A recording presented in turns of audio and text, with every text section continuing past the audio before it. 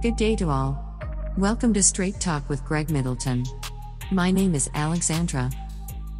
With this introduction, here is Greg.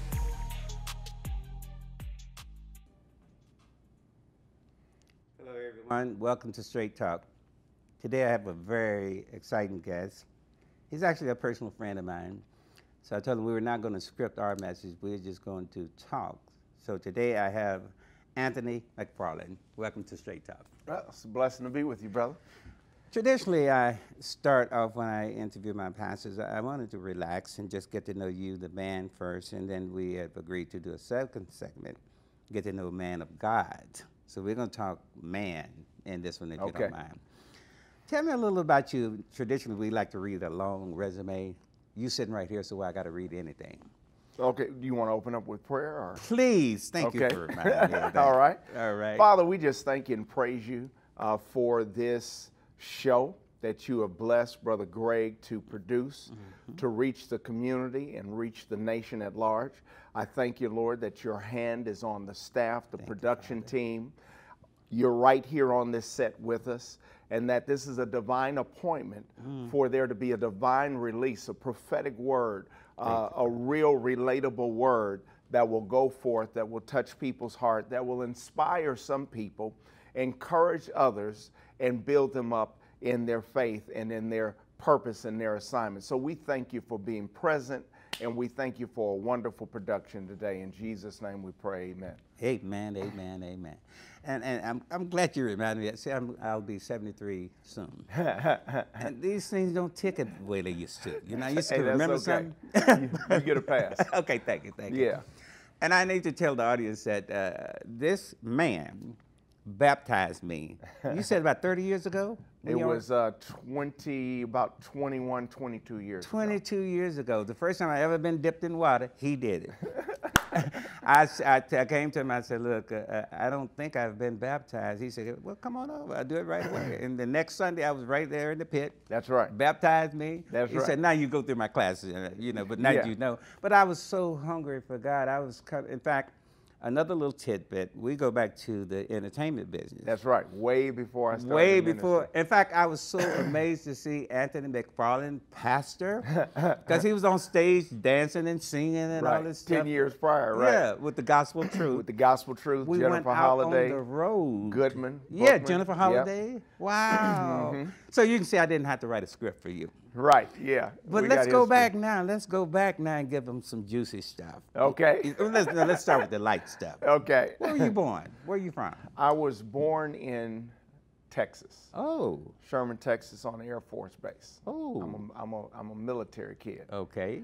And um, yeah, I was born in Texas and man, spent about two years there. Mm-hmm. You know, my father was in the Air Force. And um, I think at that point in time, we went, uh, they went back to their hometown, Right. which was Minnesota. Mm-hmm. Then from Minnesota, they came to California. And um, yeah, Was anybody in ministry in your family? Nobody was in ministry in my family. Ah, yeah, Th- this was not on the radar. right, right, right. Yeah. we're gonna get to that a little bit later too. So, how many uh, siblings you have? Were you the only child, or Um, I have a brother, a Okay. younger brother, Okay. Mm-hmm. and he lives up north. And uh, his name is Greg, and uh, so it was just he and I. right? yeah. Was he uh, uh, surprised to see you get into ministry? No, actually, he wasn't. A lot of my family Okay. was not shocked. Ah, they were happy. A lot of my family, as well as close friends, very good.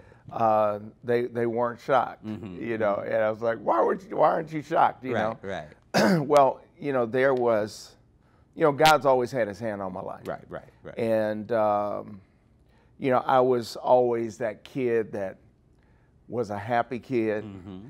I was very joyous, uh, loved to laugh, um, wanted everybody to Mm-hmm. uh, be kind and love one another, didn't want any friction, Right. confusion.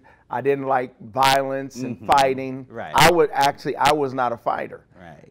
Uh, Did you grow up in the in, in the in the rural area or in the more urban kind of setting as a kid? Um, I grew up. Wow, good question. Um, Urban setting. Okay. Yeah, no rural setting. so were there any gang-like stuff or devious activity around you, or did you have a pretty? When I was here, okay, when I was here initially in California as Mm-hmm. a kid, I I heard of it. You know, as a kid, I I saw it as a result of we had a, a cousin, my cousin, big cousin Ed. he had uh, he his his mother, his parents sent him down. Uh, to California for kind of my mother and my Right, grandmother to deal with him Right. because my mother was a strong woman, and they had a special connection. And Yeah. and um, he was coming from school, and he had this suede purple leather jacket, and um, some gang bangers. That's when I kind of learned about This gang California, bangers right? in here in California. tr- uh, tried to take his jacket, and he fought for his jacket. And I mean, they, I mean, he he was in a fight with like four or five guys, and I mean, they hit him in the head with something. His head was out here like this, and they didn't take his jacket, Uh, but they almost killed. jacket. He defended that jacket, but they All almost right. killed him. So that was my first awareness Mm-hmm. of gangs. I bet you thought the world was a, a, a happy place before. I thought it was a happy place, you know, like you- you McDonald's, wanted the Golden happy. Arch. Yeah, yeah. Right. How old were you when you came to the California area? Do you remember? Pro- probably about four years old. Yeah, Mm. So you have very little remembrance of Texas then, huh? Yeah, no, I, I didn't. I didn't live in Texas. Right, Yeah, I didn't live in Texas. I was born in Texas. In the military. In the military, I and see. that's a whole nother thing. I mean, you can be in any state, any city, but if you're in the military Right. and you're on a military base, Right. that's a whole nother world. Did y'all travel much as a family from deployment to deployment, or how did? Um, Yeah, no, no. My father took his uh, last deployment in California, transitioned out of the military, and uh, because he was uh, he was a, a artist and he had certain skill sets, um, you know, he started writing for a, magazine, doing work for a magazine, and then. You know, ultimately he would get on with Northrop, uh, and uh, uh, you know he became a director and that sort of marketing director of marketing. When you were growing up, uh, what did you want to be, or what were you focusing upon? Were you into entertainment or? Anything I was like in that? entertainment. Okay. Man, my mother encouraged Oh. uh, me to sing and to dance. Right, and, right. And you know that was my man. That was my thing. So, Right. you know, I grew up with that desire to sing. Did you pursue that it desire. professionally? Uh, I pursued Because you were it. in the- in the well, play with I was, me. I was in Gospel Truth Right, with you you. were in Gospel yeah. Truth. So we went on tour. Right, So right. Yeah, I pursued it professionally. Uh, uh, I, I had a. I had some great little, Right, you know, right, right, achievements. right. Uh, Uh-huh. I was a regular uh, stand-in on Cagney and Lacey. oh wow. Um, I got um, uh, I got uh, Taft Hartley with Hunter. Right. You remember the movie Yeah, Hunter? yeah, yeah. Uh, yeah. Stephen Cannell took a liking to me. right. and uh, I played. Out of all things, I played uh, a, a gangbanger, a street kid, and a dancer. Wow. And so I had a scene with Hunter, Uh-huh. and you know he's looking for somebody, and you know he engages me on the streets. and- Right. And, so uh, that's how I, that's how I got my my uh, my SAG, and then from there I Mm-hmm, so did. you're a professional then. Yeah, I did. You know, did HBO uh, movie, did some soundtracks because I could sing. Right. You know, it was interesting back then because if you were an actor and then they found out you could sing and you Mm-hmm. Right. could dance, then they kind of use you however they they would Yeah. you know could use you. Mm-hmm. And I, I did some modeling. Uh, I got my first professional contract with uh, Vidal Sassoon. I was the first black Wow. hair model Right. it's, it's gone now. It- you know, it's gone now. But I had waves for days back then, and uh, you know, did did uh, some uh, modeling back then for like J.C. Penney's and things like that. You know, Right. uh, so you know, I had a few little accomplishments in the entertainment industry. You know, as I look back, in fact, I, I look back over my life, and like I said, when you look back, it's 2020 because you see what God was doing. Yeah. But when we were going forward, we had no clue about Yeah. what God was doing. I No. mean, I, I, I really love God even more because I see His hand on me so early when I was totally unaware that Yes. He was there. You know.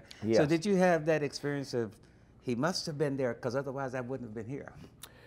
Yeah, I mean, you hear people say, when I look back Uh-huh. over my life, Right, right. um, I can see the hand of God on my life.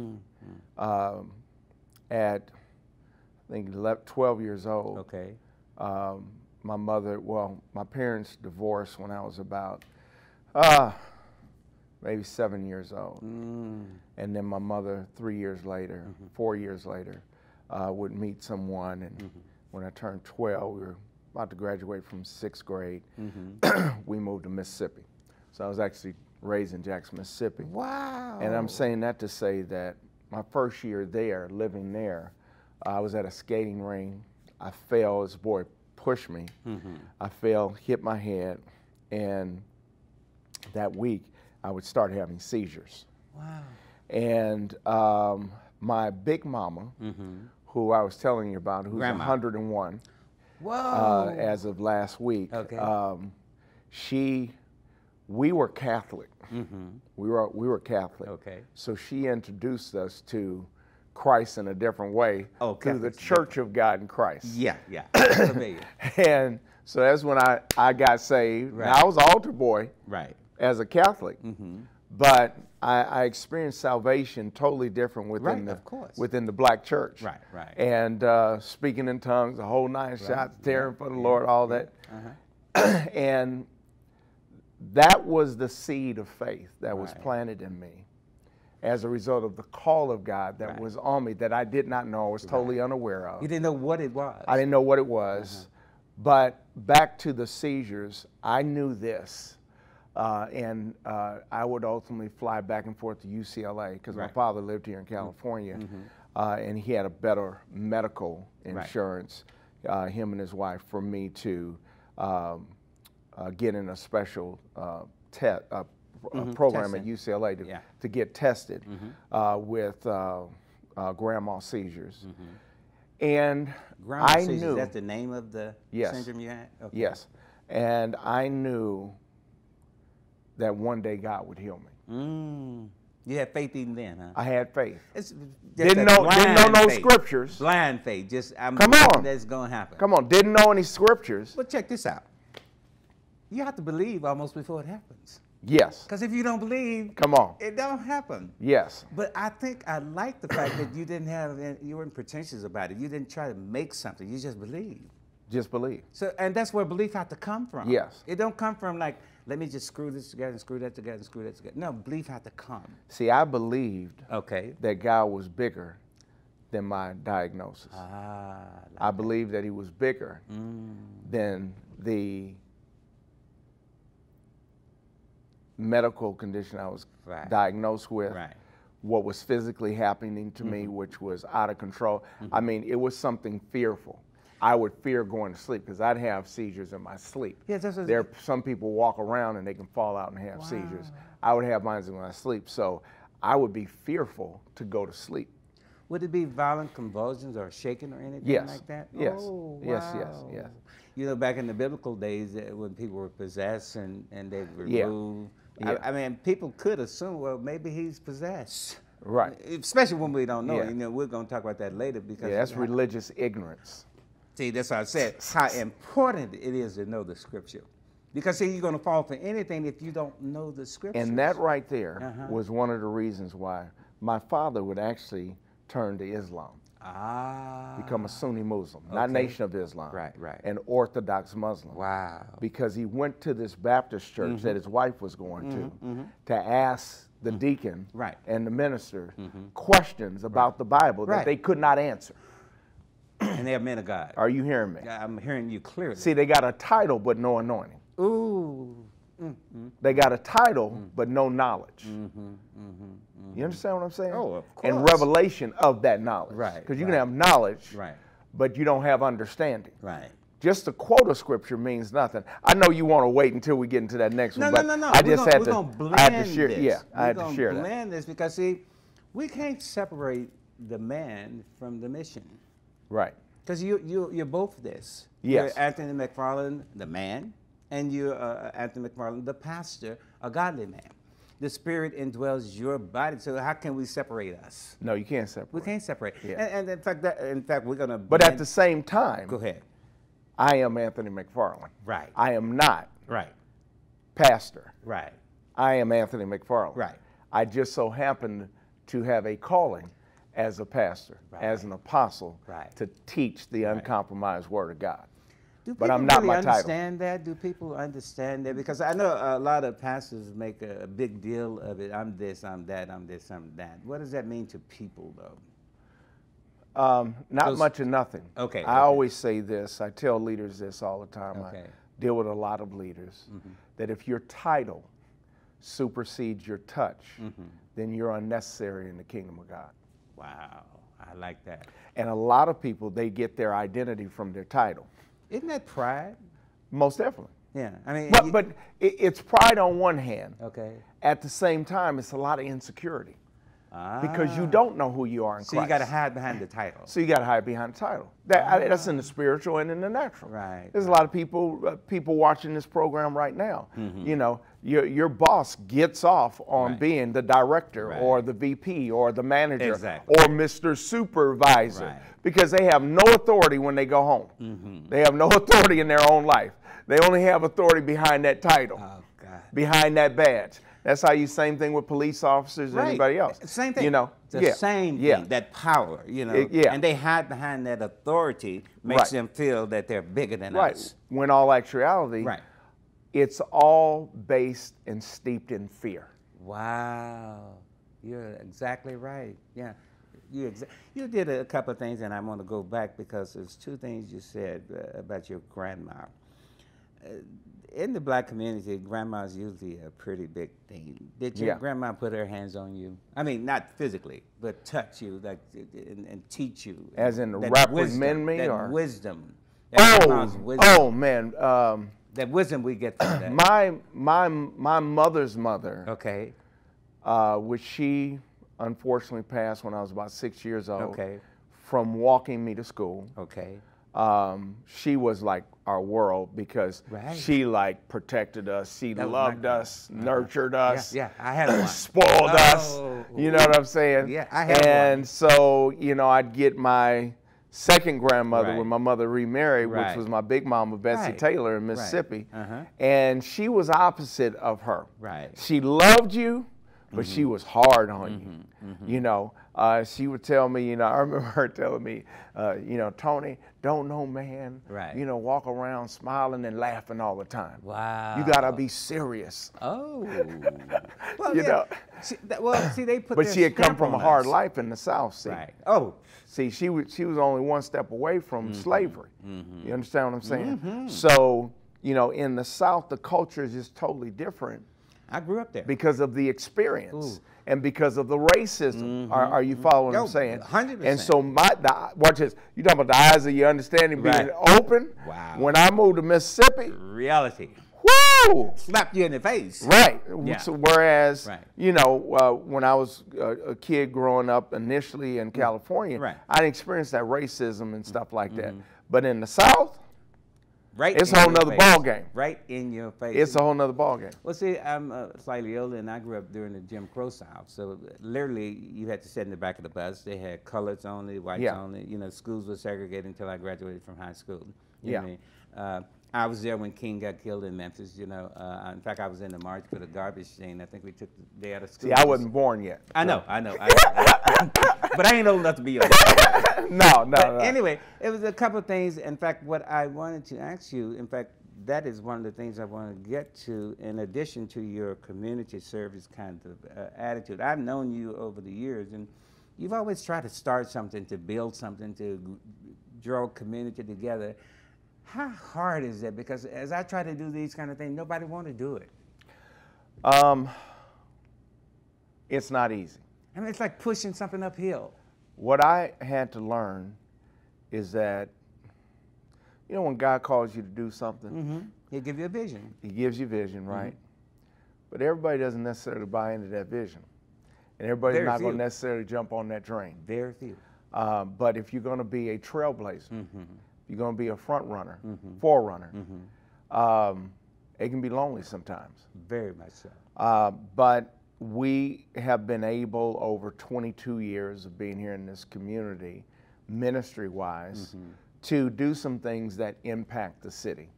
Um, you know, um, and it wasn't easy. I, I think one of the most disappointing things um, is when Christendom, Right. church leaders, Right. don't come together. Oh, that's one of my pet peeves. And so, you know, I it, I found it a little I found it a little bit easier to get other leaders within the community to come together. right, right. and you always have a, a remnant, a few of those, uh, you know, Christian pastors Right. that will come and and support in some type of way.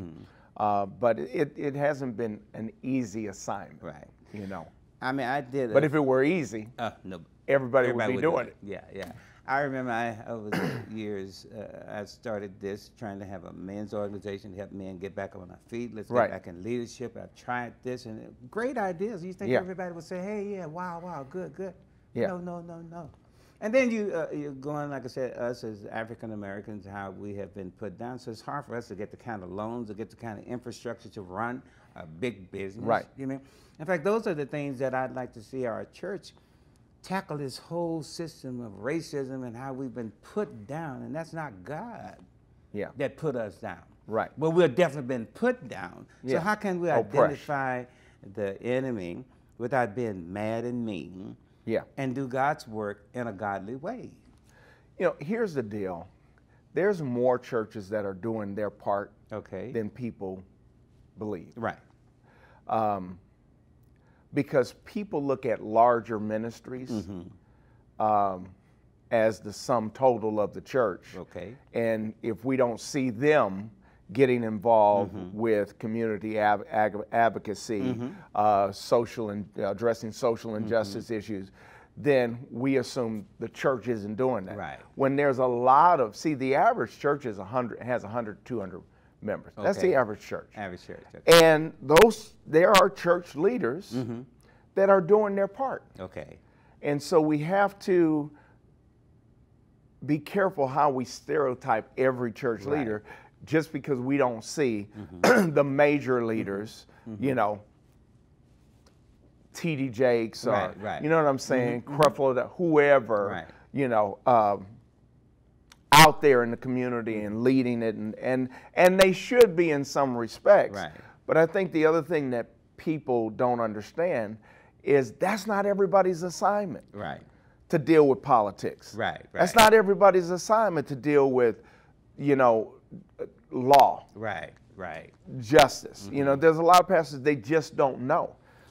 You know, with the uh, we got about four more minutes in this segment. I, I did want to. I've asked quite a few pastors. Why don't the church deal with the situation of racism? Okay, so who says the church isn't? See that that's that that I'm I'm kind of challenging. Okay, yeah, good, good, good. Because there are churches that I've dealt with it. Okay, okay. You follow what I'm saying? Yeah, I've and dealt I- with you're a trailblazer. I've been a, a, a, a front runner. Right, right. You I know that. I know uh, it personally When when are. people wasn't coming out, I was Right. out there in the streets with the people on the front line. Personally, I know. You that. know what I'm saying? And, And well, I, I guess just the question was then, how come they are not helping you do what you're doing? Did, did you get like more people excited about what you? were some people are about? fearful. I think some people did get excited because Okay. they seen me Right. as a leader out there. Right. And so there were more pastors kind of willing to come out Right. and be a part. Okay. Um, but again, at the same time, that has to be your lane. Right, right. You know, right, right. ne- never go where God hasn't called you. right, right. Are you following what I'm saying? Yeah. There were certain prophets that Mm-hmm. God called to deal with nations or to deal with a king. He didn't call everybody to deal with a king. Mm-hmm. Exactly. Are He you following what I'm saying? to be a king. He didn't call everybody to be a king. Right, right. So, you know, I just had uh, uh, someone uh, send me a, a, a, a YouTube Mm-hmm. video text. And it was about Roe, Roe, Roe v. versus, you Yeah, know, Wade, Wade, being yeah, re, re, uh-huh. uh, overturned. Yeah. And the whole conversation was about why aren't pastors, Right, you know, right. jumping on Same board yeah. and and uh, you know singing the praises of Right. Mm-hmm. this thing being overturned. And it was a subtle. It was actually, I think, a subtle shot to me, wanting me to on Sunday Uh-huh. Mm-hmm. address this, talk about this, when I have talked about. Uh, social and, Right. and legal issues and Right. political issues over the years. I've I've had forums, the whole nine shots. Mm-hmm. So nobody can say I haven't talked about it. Right. But God didn't give. I wasn't released to go public and talk talk Mm-hmm. About it. Right, Right. Are, are you following me?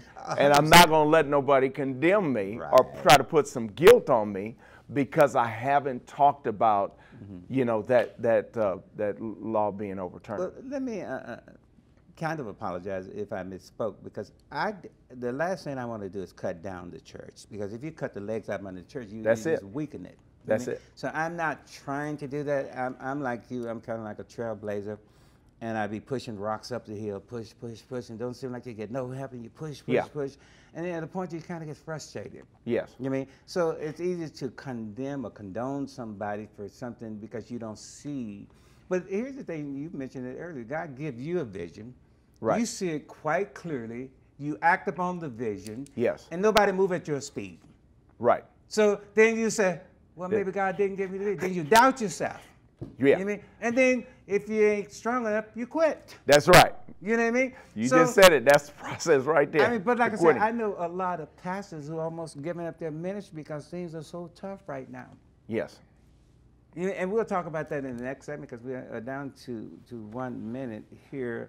But uh, uh, tell us about your wife, how she's doing, My wife is doing and good. children. Uh, my kids are doing doing very well. I'm proud of them. Mm-hmm. Um, my wife is preparing for a women's retreat. It's been three years.